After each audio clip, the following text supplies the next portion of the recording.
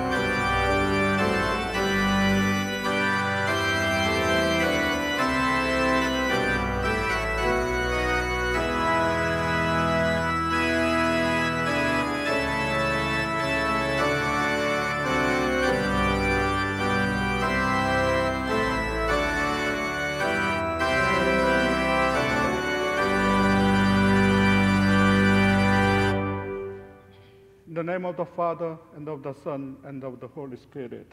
Amen. Our help is in the name of the Lord.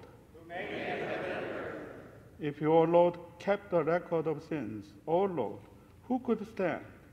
But with you there is forgiveness, therefore you are feared. Since we are gathered to hear God's word and call upon Him in prayer and praise, and receive the body and blood of our Lord Jesus Christ in the fellowship of this altar. Let us first consider our unworthiness and confess before God and one another that we have sinned in thought, word, and deed, and that we cannot free ourselves from our sinful condition.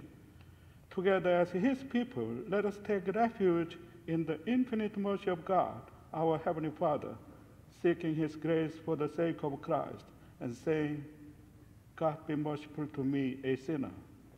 Let us kneel for our reflection.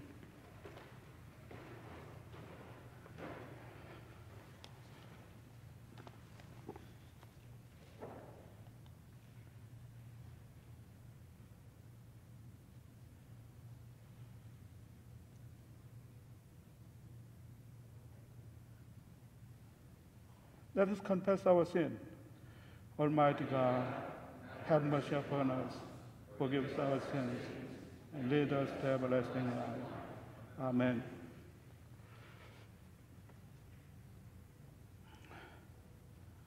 Almighty God, merciful Father, in holy baptism you declared us to be your children and gathered us into your one holy church, in which you daily and richly forgive us our sins and grant us a new life through your Spirit.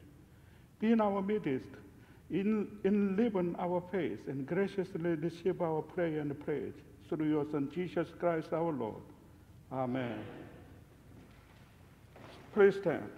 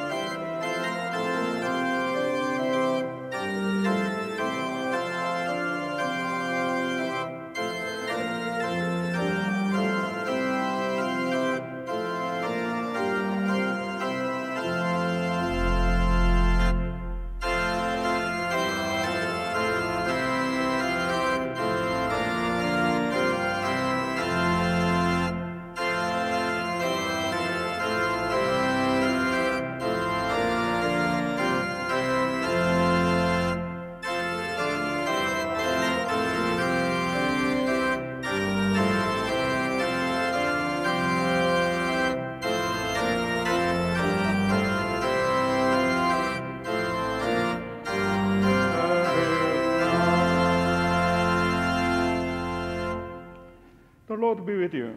And also with you. Let us pray. Heavenly Father, though we do not deserve your goodness, still you provide for all our needs of body and soul. Grant us your Holy Spirit that we may acknowledge your gifts, give thanks for all your benefits, and serve you in willing obedience through Jesus Christ, your Son, our Lord, who lives and reigns with you in the Holy Spirit, one God, now and forever. Amen. Please be seated.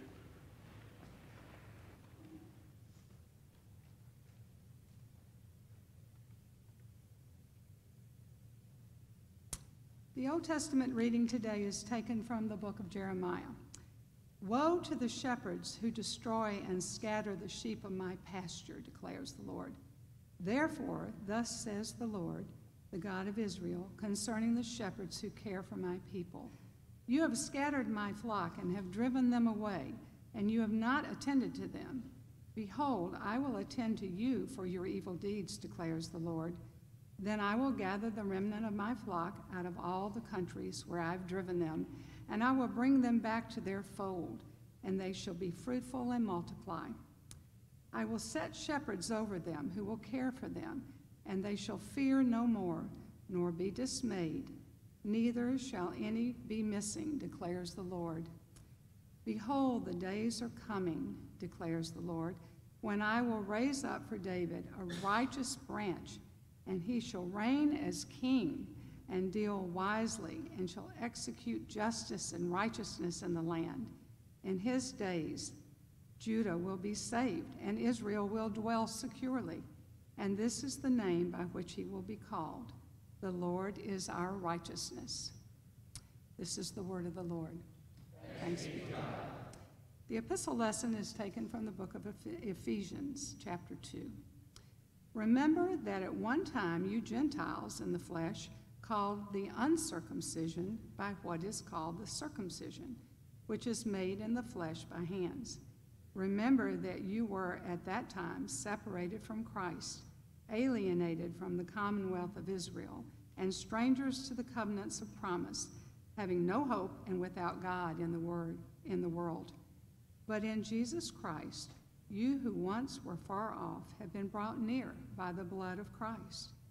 For he himself is our peace, who has made us both one and has broken down in his flesh the dividing wall of hostility by abolishing the law of commandments and ordinances, that he might create in himself one new man in place of two, so making peace, and might reconcile us both to God in one body through the cross, thereby killing the hostility. And he came and preached peace to you who were far off and peace to those who were near. For through him we have we both have access to one spirit to the Father. So then you are no longer strangers and aliens, but you are fellow citizens with the saints and members of the household of God, built on the foundation of the apostles and prophets, Jesus Christ himself being the cornerstone, in whom the whole structure is joined together, grows into a holy temple in the Lord in him, you also are being built together in a dwelling place for God by the Spirit. This is the word of the Lord. Thanks be to God.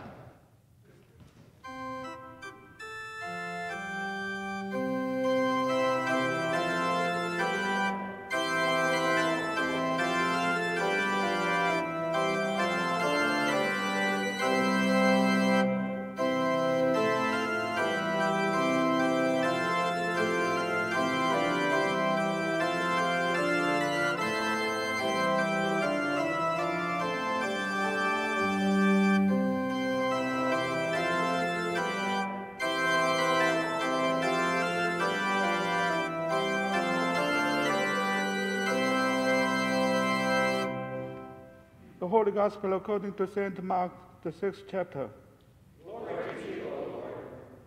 The apostles returned to Jesus and told him all that they had done and told. And when, when he said to them, Come away by yourselves to a desolate place and rest a while. For many were coming and going, and they had no leisure to even to eat. And they went away in the boat to a desolate place by themselves. Now many saw them going and recognized them, and they ran there on foot from all the towns and got there ahead of them. When he went ashore, he saw a great crowd, and he had compassion on them, because they were like sheep without a shepherd. And he began to teach them many things. And when it grew late, his disciples came to him and said, This is a desolate place, and the hour is now late.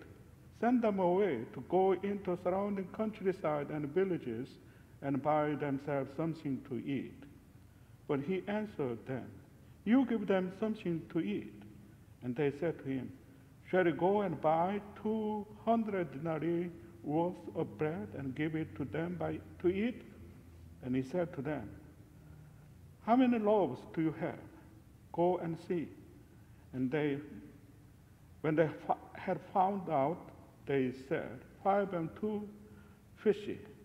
Then he commanded them all to sit down in groups on the green grass. So they sat down in groups by hundreds and by fifties. And taking the five loaves and the two fishes, looked up to heaven and said a blessing. And the broke the loaves and gave them to the disciples to set before the people. And he divided the two fish among them all. And they all ate and were satisfied.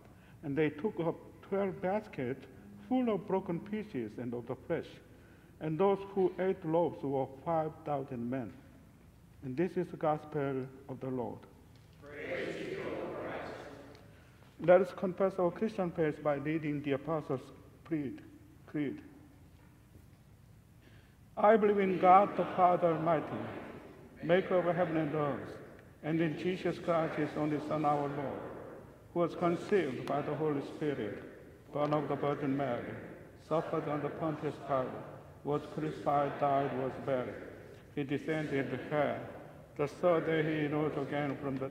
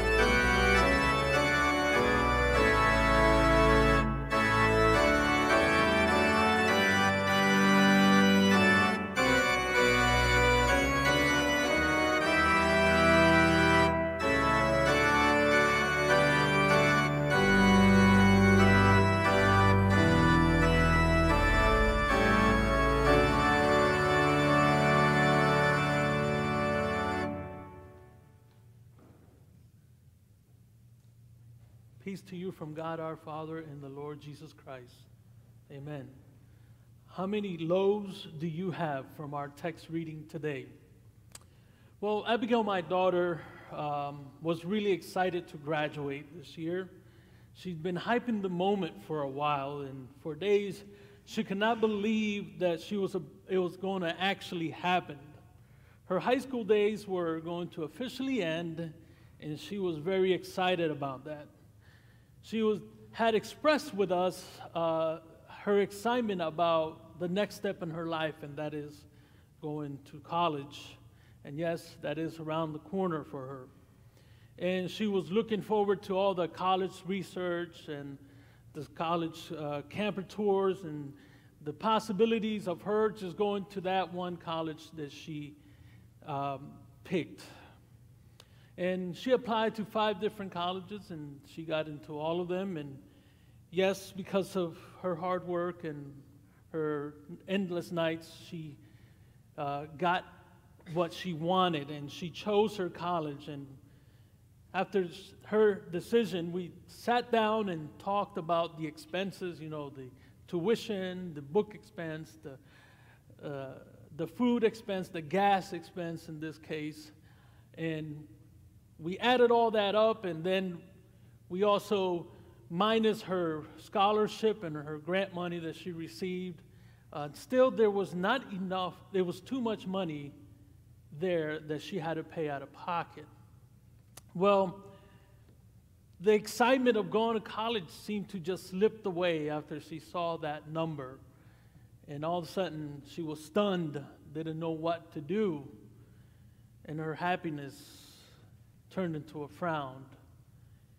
And how she's going to overcome this new hurdle now. Well, in our gospel reading today, we have a scene where there was most likely some commotion.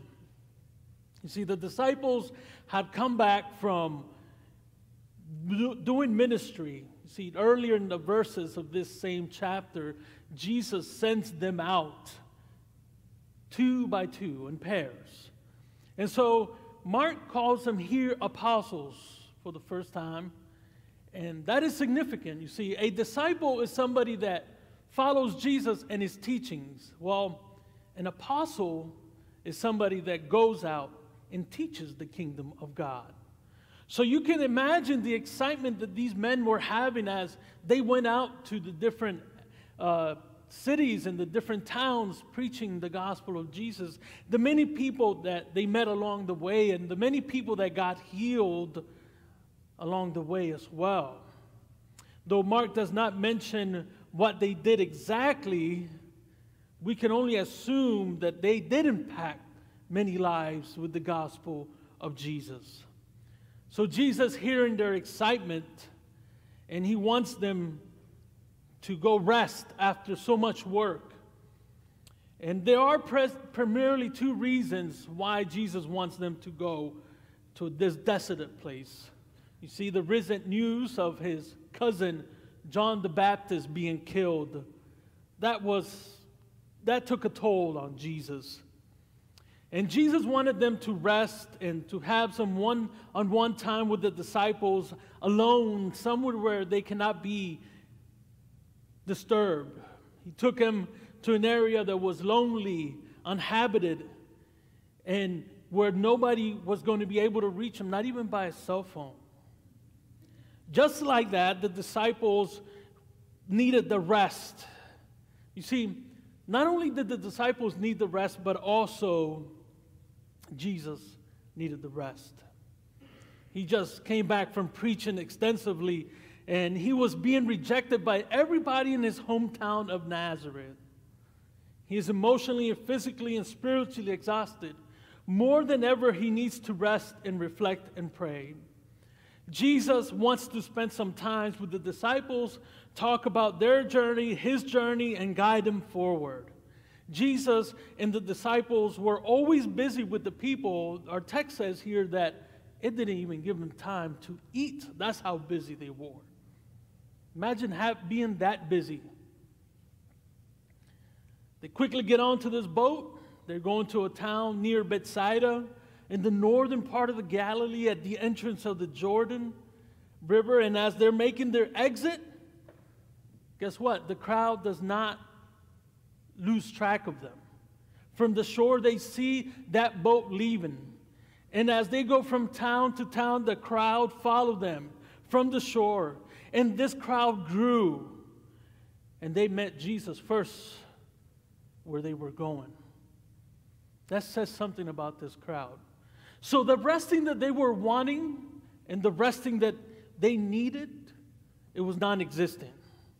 And that's not what Jesus wanted for his disciples. So, after a few hours of quiet time in the mountainside, he sees the magnitude of the crowd. And his heart, Jesus' heart, melts. Jesus' compassion drew him to put his resting to the side so that he will tend to the huge crowd. It means that in spite of all the unbelief he encountered, and in spite of his withdrawal to not do ministry for a minute, and to be alone with the disciples, his heart moved towards the crowd. The crowd grew in numbers from when they started. And at this point, Jesus doesn't see the numbers, mind you. Jesus sees their spiritual condition, in which they did not have a shepherd that tended to them. They will wander around helplessly looking for their shepherd and were bound to perish if they did not find that shepherd. Jesus saw the fate of the people who had no shepherd. He began to shepherd them by teaching them many things. So, in this process of teaching, the time passes, and it was late. And guess what? The disciples were concerned that the people's stomach will start to talk, if you understand what I'm saying. It's been a long time since they ate. They were somewhere in the desert, and nothing was close by for the crowd to go buy food like a 7 Eleven across the street. So the disciples did not understand why would Jesus hold the crowd so long? That sounds familiar. This really makes you wonder what they were thinking. After all, they just saw Jesus literally rest, uh, bring the dead up. And now, hungry people is just a problem. Their un- uneasiness just grows until they feel that they must act if Jesus does not. So, after explaining the situation to Jesus, they urge him to send them away before it gets too late. Because they're not going to find any food to eat. The disciples thought that they were helping Jesus by warning him of the time and of the crowd. But what draws more attention here is not the time or the crowd, is the unbelief from the disciples. Jesus' response to the disciples when he says, You give them something to eat, is not what they were expecting. You see, Jesus was trying to lead his disciples to think of his almighty power and to place their reliance on him, on his wisdom, on his thoughtful care. They did not understand what Jesus was trying to tell them. They were clueless in the dark. Based on their response from the disciples that they gave to Jesus' proposition, they thought it was hopeless. The disciples confirm this when they tell Jesus, Shall we go and buy 200 denarii worth of bread and give them to eat? By the way, 200 denarii worth of bread is $293 for a crowd of 5,000 worth of bread. Good luck. They were very frustrated in a way, questioning Jesus. In other words, this much money will not get us anything compared to the size of the crowd. Well, guess what? In many ways, you are like the disciples at times. When you start to question or doubt what Jesus can do for you, and when you start to think that Jesus can't handle your problems. When you don't think what he's doing makes sense. So you ask, is it possible for Jesus to handle my problems? Will Jesus be there for when I am in doubt and I struggle to put my trust in Him? Can Jesus heal my broken relationships? Can Jesus still be present to guide me despite my sinful condition? Where sometimes the issues of the world take precedence of God in my heart. Do you honestly trust Jesus to be that primary force working for change in your life as He promised to be? You know, going back to my daughter's college discussion, I noticed that her face changed. That smile of going to college turned into that frown. And I had compassion on her. And I didn't like what I saw. They say that daddy's little girl for a reason, right? And I said to her, listen, don't worry. The rest of the money, we'll get it, we'll help along the way. You make sure you make those grades. It was all that she needed to hear. That frown, back to that smile, that quick. Problem solved. Well, you see, Jesus does the same for you and more. Thank God he's not like us. We're limited. He comes to you today and invites you to sit down in the green grass, just like he does with the crowd in our text, so that he may serve you. Though the altar here, where we meet him, does not have grass, is where you and I meet him so he can serve you. It is where your broken relationships are restored. It is here where he casts all doubts away. And it is here where Jesus tells you that there is no problem that he cannot handle. Jesus is present to forgive you all of your sins. The best thing of this is that Jesus does not pay an interest fee. That's the best part. Jesus is more than what you expected. Just as he fed that 5,000 uh, member crowd, and that's only men, mind you, it's more. Just as he did that, he does the same thing for you. He does not just give you enough, he gives you the leftovers as well. And you know what? I'm so glad that Jesus does not measure things out so he can keep account.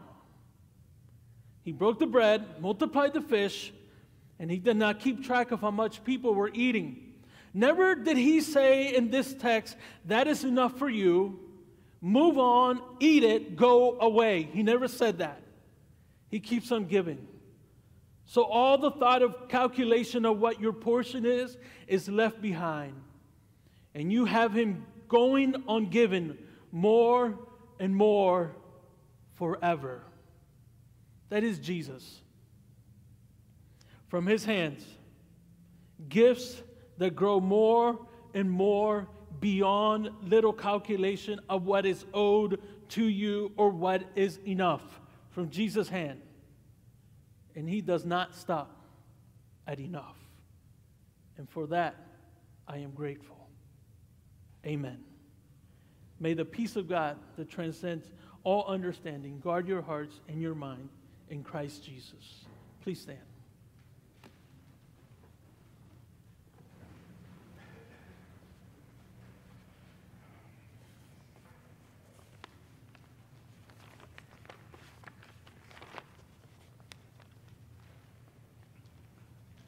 Let us pray for the whole people of God in Christ Jesus and for all people according to their needs.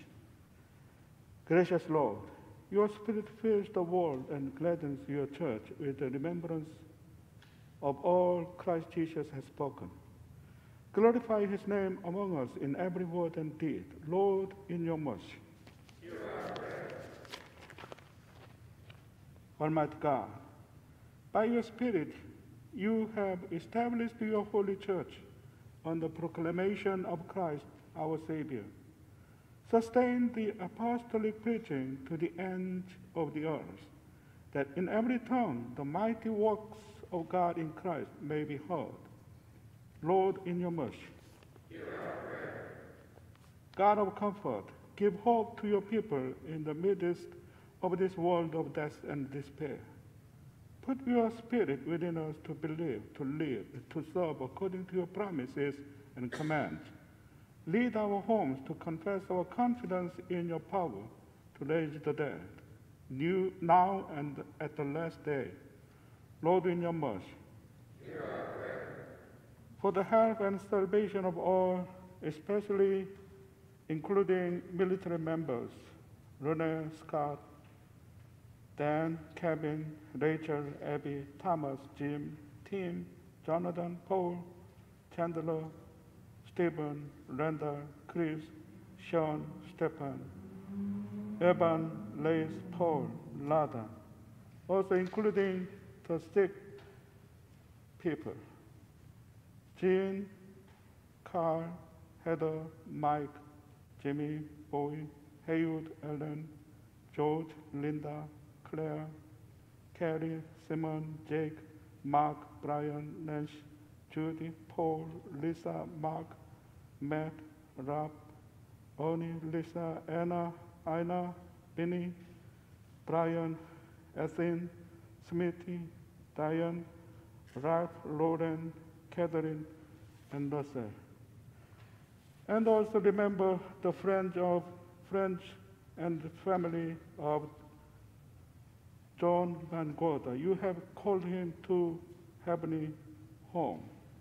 Dear Heavenly Father, Lord, give hope and peace and consolation and comfort to the family and friends of John Van Gogh in the hope of a kingdom, heavenly kingdom.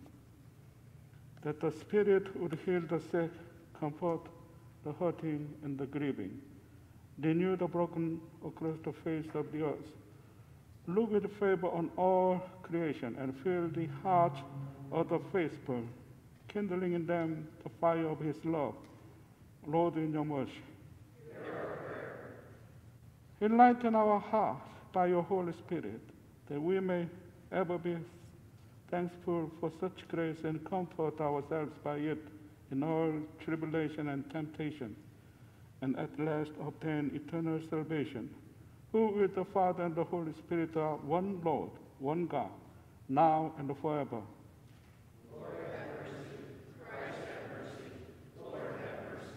Please have a seat.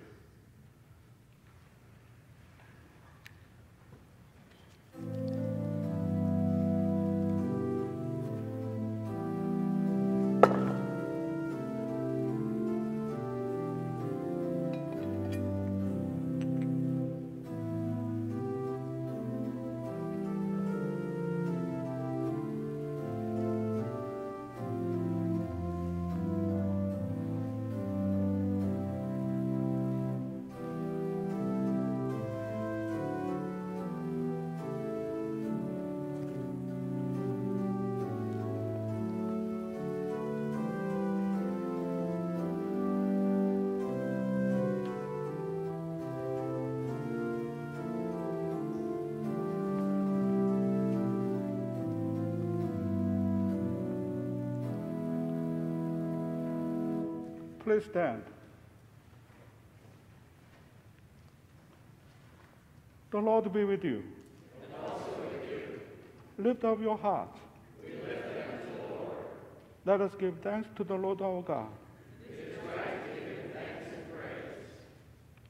It is truly good, right, and salutary that we should at all times and all places give thanks to you, O Lord, Holy Father, Almighty, everlasting God, for the countless blessings you so freely bestow on us and all creation.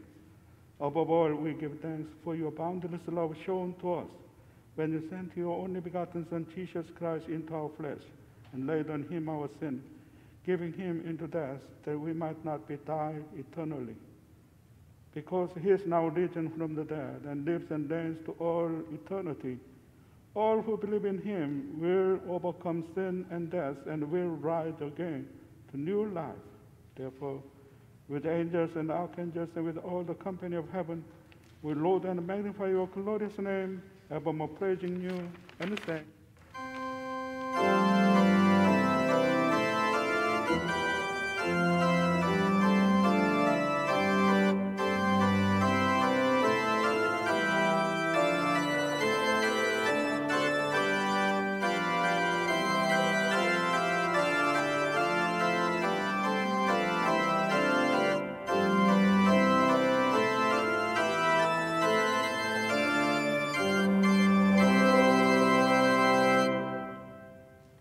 Blessed are you, O Lord our God, King of all creation.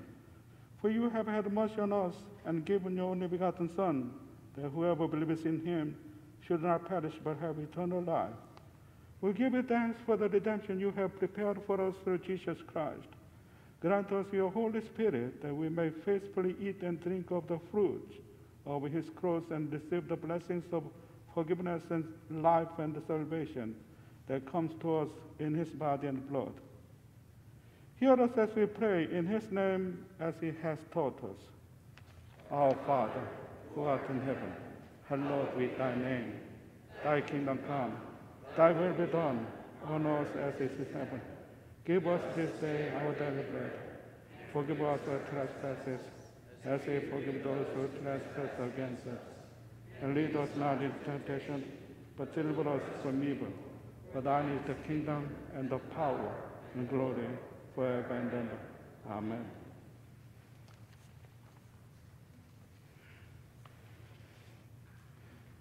Our Lord Jesus Christ, on the night when he was betrayed, took bread, and when he had given thanks, he broke it and gave it to the disciples, saying, Take and eat. This is my body which is given for you. This do in remembrance of me. In the same way, also took the cup at the supper. When he had given thanks, he gave to the disciples, saying, Drink of it, all of it. This cup is the New Testament in my blood, which is shed for you for the forgiveness of sins. This do, as often as you drink it, in remembrance of me. The peace of the Lord be with you always. Please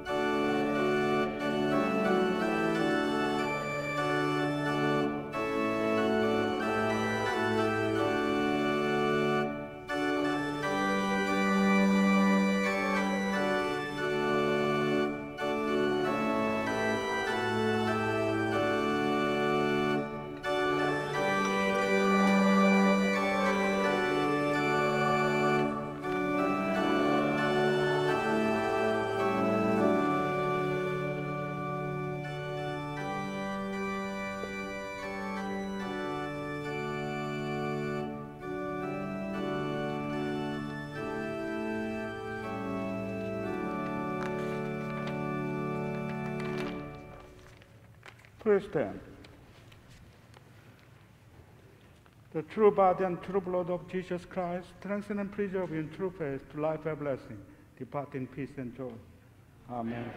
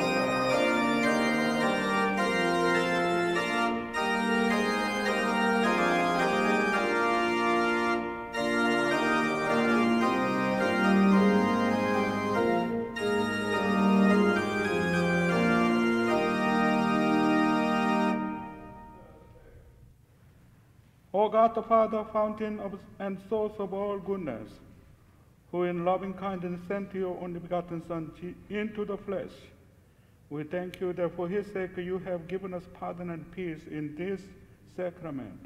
And we ask you not to forsake your children, but always to rule our hearts and minds by your Holy Spirit, that we may be enabled constantly to serve you through Jesus Christ, your Son, our Lord, who lives and reigns with you and the Holy Spirit, one God, now and forever. Amen. Let us bless the Lord. The Lord bless you and keep you. The Lord make his face shine on you and be gracious to you. The Lord look upon you with favor and give you peace. Amen.